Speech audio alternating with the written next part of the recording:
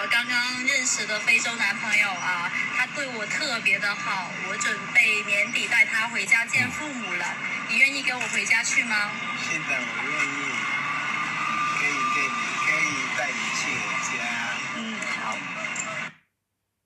可是这个，我看到过一些视频，这个中国的女性啊，这个这个女的说，我听她好像是中国南方的啊，她说带这个男孩儿黑人到去见他的父母，到女方到中国，这问题不大。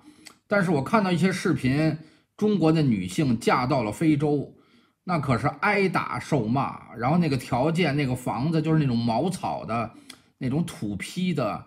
反正是条件特别差，而且，嗯，那些黑人有的还三四个老婆，反正小心小心，是吧？啊，在西班牙巴塞罗那也有黑人跟白人，黑人的男性一般是年轻小伙子，找那种四五十岁的白人的中老年妇女，然后差着一二十岁的，我们都见过，见过好几次啊。当然也有比较正常的。啊，我也见过这个黑人妇女嫁给白人的，也有也有啊，不是特别多啊。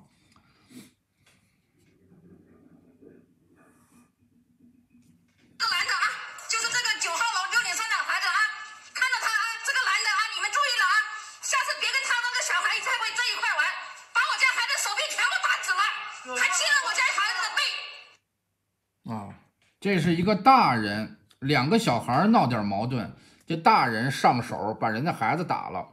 啊，我小的时候就赶上这么一回，我我都忘了为什么了。我跟我一个邻居的孩子，那个邻居的孩子比我大，我们俩不是一个属性的，他可能比我大大不了一岁吧，反正他是头一年的，他是另一个属性的。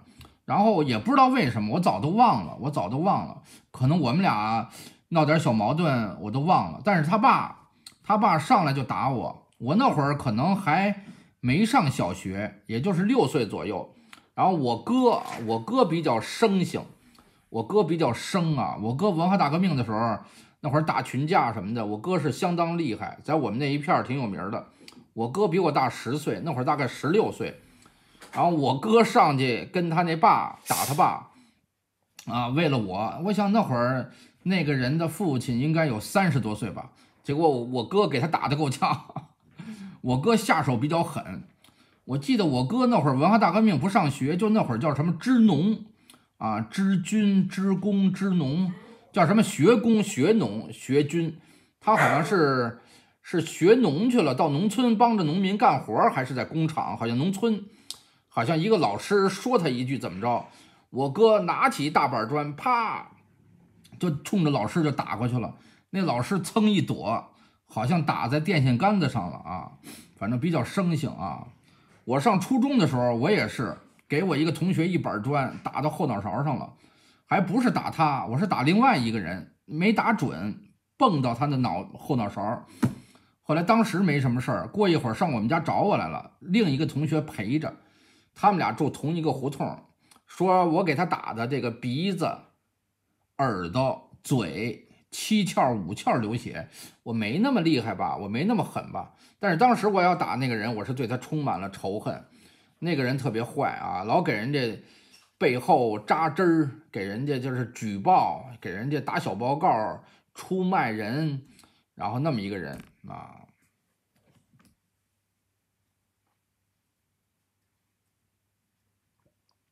这个家长就太过分了啊，太过分了。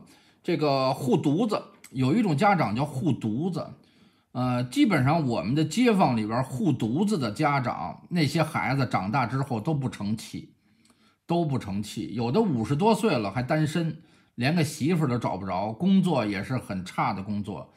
啊，凡是护犊子的，基本上那孩子们长大之后，啊，随着年龄岁数的增长，越活越抽抽，越活越抽抽，是吧？叫什么？